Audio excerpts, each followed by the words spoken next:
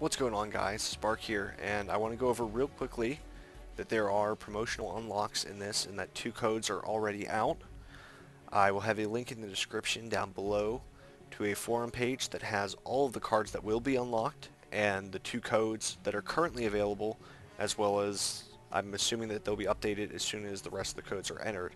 But the codes are from uh, uh, Comic Con and something else. I think maybe PAX or something, or RTX maybe. Um, but the codes are out. You can type them in here.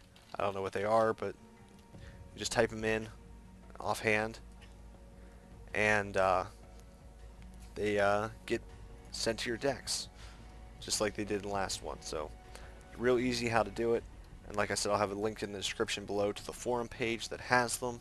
And as soon as all the codes are out, they'll actually probably be in the description below. And then once all of them are out, we'll do deck analysis for all the new videos. So, or all the new decks. Uh, so that'll be it.